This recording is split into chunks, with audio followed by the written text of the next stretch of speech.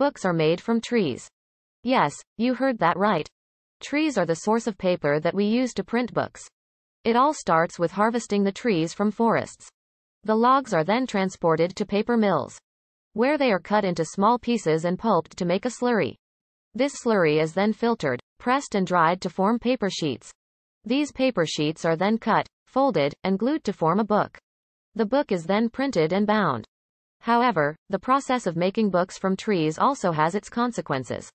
The excessive cutting down of trees leads to deforestation and destruction of natural habitats for wildlife.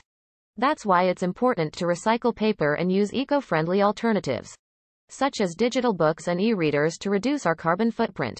By making smart choices, we can protect our planet and continue to enjoy the beauty and knowledge found in books for generations to come.